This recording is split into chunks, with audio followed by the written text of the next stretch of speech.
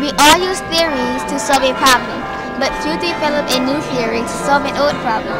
Here, we will discuss the famous Königsberg Bridge problem and how the famous Swiss mathematician Leonhard Euler, a notable genius of the 18th century, developed a theory to explain it. Most people in Königsberg love to take walks along the river and the island, and it had become a Sunday tradition to take the walk of the seven bridges.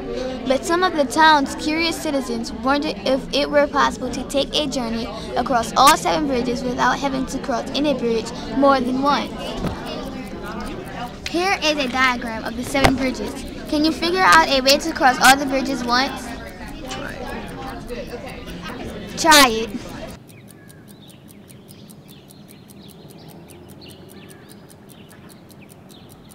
If a bridge was taken out,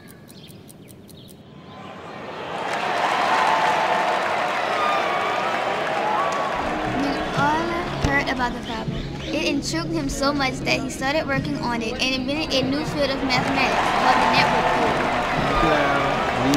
Euler figured out which kinds of networks can be walked without retracing any steps and which cannot. He proved that it is impossible to walk a route that crossed each of the bridges only once, no matter how it is done. In 1735, he presented his solution to the Russian Academy. His work on the Königsberg problem set other ideas into motion and launched the mathematics of topology.